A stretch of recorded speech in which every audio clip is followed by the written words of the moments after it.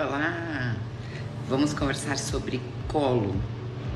Você já percebeu quanto a gente investe no rosto e abandona o colo?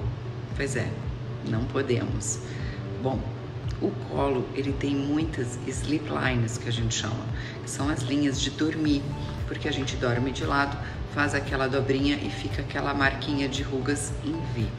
Além disso, é uma região que pega sol diariamente, por causa do decote da roupa e acaba manchando, ficando com tons avermelhados, castanhos, enfim, temos que cuidar do colo.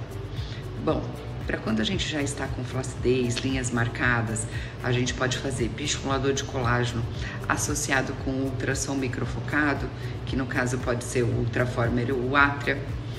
Pode fazer um acabamento depois com o Skin Booster, que é aquela hidratação injetável para ficar sem as linhas.